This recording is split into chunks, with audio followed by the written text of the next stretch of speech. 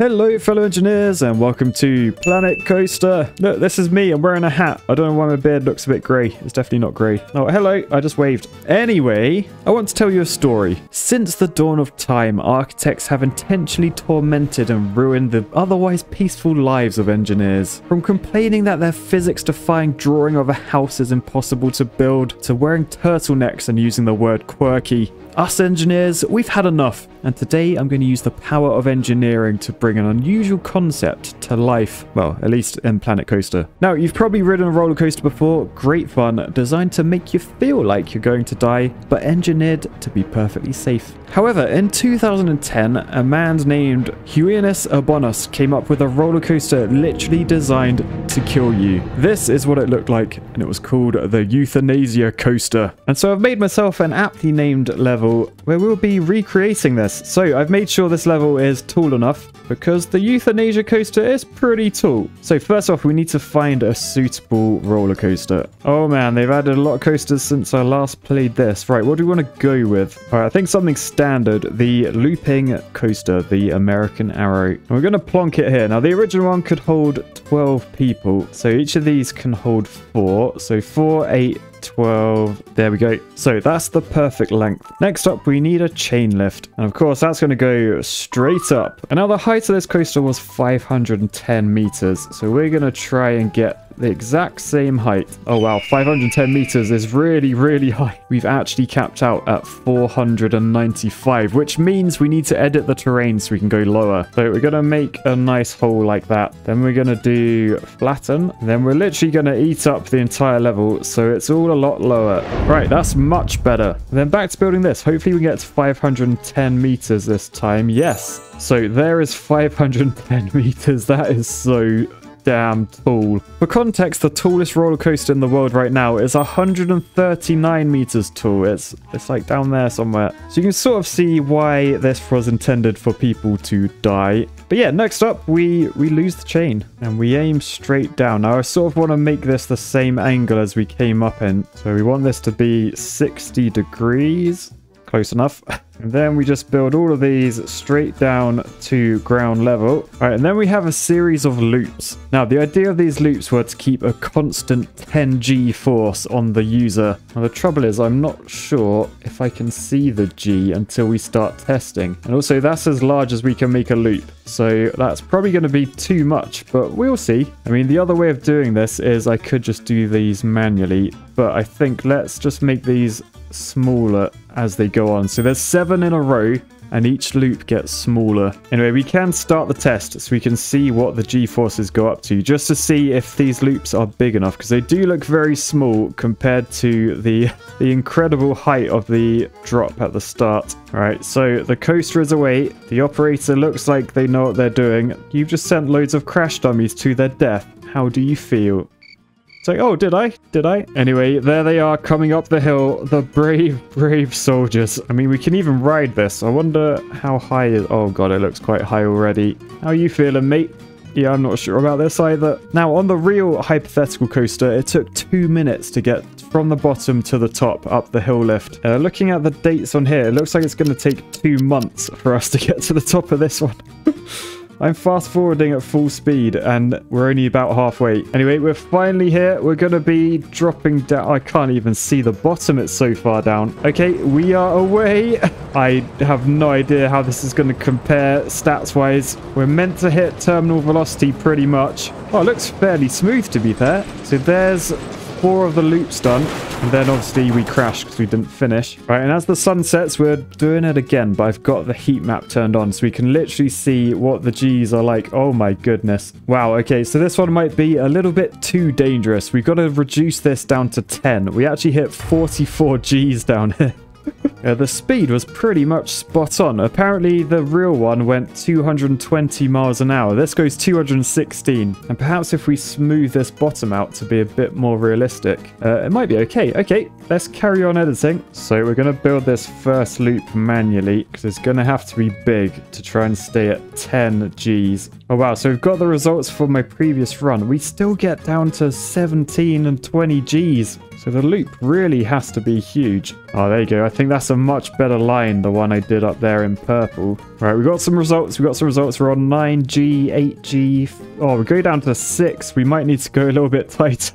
Now, roller coaster design is hard. It's not just trial and error, I'll tell you that much. There is engineering going on to make sure that's a constant 10G. Right, we are definitely in the right ballpark. They're all like around 10, 11-ish. Right, there we go. The numbers are in. I would say average, that's about 10. That's pretty good, Matt. Good job. And from here, it's sort of looking like the real one did, like height-ways. So I don't know if that's a testament to this game being like super realistic, but uh, fair play. All right, so I think I'm pretty much done. As people enter the park, they'll come up this ramp and they'll get to here and they will see this, the last roller coaster they'll ever see in their lives. So all we got to do now is do a little path. We've just got to go from here over to there where the entrance is. Right, so we have a pathway down there, a very, very efficient pathway. We have an entrance there, an exit there. We then have our queue path so people can come past this very trustworthy bloke to buy a ticket. No, oh, apparently we can't. He's saying he's saying no, we can't. He's literally advertising people not to come on this ride. But anyway, the park is open. Our first couple of guests are in and they've decided to go home. Free park entry. Awesome. There isn't much more I want to do in this park. Hmm. Right, we've attracted a couple and a child. Hopefully they will want to take their own lives on a roller coaster today. They look keen, they are in, and they've decided against it as well. Oh, I've just worked out why. I've worked out why he's saying no to everyone, why everyone doesn't want to go on the ride. Because it's not open yet. So, the euthanasia coaster is now open. You can see excitement rating 2.29, the fear rating is 20, and the nausea rating is 15. Well, that is because the seven loops keep us above 10G the entire time. So as you rush around there, the blood will leave your brain. And essentially, that's how this ride kills you. And actually, there's quite a few guests coming to check it out. I wonder if any will actually get on the ride, and I wonder how they'll cope. I mean, 10G, although it's like more than a rocket taking off, even more than an F1 car going around a corner, there will be some people that will be able to survive this ride. Anyway, I reckon we'll take a first person ride. We're the only person on this. But anyway, after reaching the top, the real one actually stops. It has a button because it's taken so long to get up here. You might have changed your mind that you want to commit suicide. Right, so anyway, we're, we're coming down the 500 meter hill. Now we're over the first of seven loops. 10 G's as the blood rushes from our brain into our feet. And I imagine our eyesight will start to go black as we start to disappear from reality. And then we make it round the final few loops. And only the very very hardcore will survive it. Oh god and if they do survive they're There's a bit of a brutal corner at the end. But then this bit, if you have made it and your brain hasn't imploded, then this is actually a really smooth little end. Although apart from this corner here, this could hurt. And then that is the end of the ride. Now sadly, it seems all my guests, they didn't even get to the ride before they turned around. And as you can see here, most people, they think it's way too scary. Well, it is sort of meant to be scary. I mean, literally look at this thing. it's brutal. 500 meters. You see the max speed is 215 miles an hour. Ticket price, maybe it's the ticket price. Let's let's lower that way down. It's now free. There you go, guys. The things I do for my guests. All right. well, that's disappointing. Pretty much everyone is leaving. Although, there's an engineer. We've attracted an engineer. Look, look. Oh, oh no, it's just... I thought she was wearing a yellow hard hat. Anyway, despite the incredible view of the roller coaster, people are too scared to use it. So we're going to have to try and euthanize people in a slightly different way. First off, I think I do actually want to attract some guests. I'm going to make some rides that they can actually use. So we got one of those there, another one there, and then we got this ride here. So that looks very attractive to me. I think the guests are going to come flying in. So we'll get that all open. Yes, you can see it's working. The guests are coming flying in in. Now, next up, I'm going to build another coaster. I think we're going to be using this the dive coaster. Now, the reason I like this coaster is it's a vertical drop one, and it's got this, the dive drop holding section, which allows people to sort of hold on the end, looking straight down to their doom. Uh, granted, I imagine no one's actually going to go on this coaster, but it should help with some things. Right, so we're going to go up a lift, and we'll just build for quite a bit. And as you can see, sort of, we're actually higher than... Why can't I see? We're actually higher than the euthanasia coaster, so this should be pretty damn good. So we're going to take a left. You got to make sure that this line here is lined up with that. So we'll make that a little bit bigger. And I think that's good. And then we're just going to keep going forwards a little bit. Because you can see below, we're not actually in the right place. So we'll go right a little bit. And back left to straighten up. And then we've got the drop hold section where people will just be held there looking straight down. Before this bit where that looks pretty good. So our guests seem to be enjoying our blue balls. We've got quite some queues forming. So let's give this a test. And we'll give it a little ride as well. Let's let's see what it's all about. Oh god, it's so high. That that up there is where we end up looking straight down now imagine if this actually broke down and you had to use those stairs. Guess think Blue Ball has a long queue sign. Well, don't worry, I'll be putting them out of their misery in just a short while. We daren't look down. It's too far. It's it literally too far to even look down. A pretty nice view up here, though. All right, anyway, we made it to the top. My, my legs are dangling. Oh. I'm actually feeling quite nervous. Now remember, we're not actually expecting people to ride this. The euthanasia occurs at the bottom. Although if anyone does ride this, I imagine they probably won't make it either. I mean, honestly, just being suspended this high up for this long, it takes so long. it's probably enough for some people. Anyway, about 10 minutes later being pushed along by tires, we're finally at the end and uh, thankfully, there's there's a nice safety barrier here. Just in, oh god, we're going straight over. Oh goodness, we're being suspended. Oh, I don't like this. Do you? Oh god, we're off. We're off. Right. Oh, there's no one there. There was no one there. Oh dear. Anyway, a vertical drop. What speed did we actually hit? Only 210. I thought we would go a bit faster than that. Anyway, the plan was to take out a few people, but that didn't really work. But if I've eyed this in correctly, I think this is why roller coasters are so safe. Like I've spent nearly four years trying to get a roller coaster that will kill people. And uh, we still haven't quite managed it, although I'm sort of hoping that this one will. So we'll just stay looking here. Ready? No. Oh, we did. We got two. We got two of them. Oh no, they're getting up. They're getting it. Oh, they're okay. They're okay. They're actually happy about it. Wait, are you happy or are you lost? I think they're lost. They're like, I can't see the path. I don't know where we are. All right, what's your name anyway? Chol, the architect?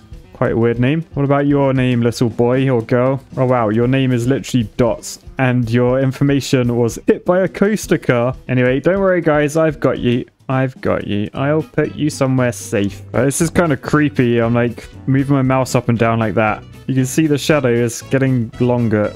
yeah, this game's a little bit weird. A little bit weird. Anyway, let's place them up here because that definitely looks safe.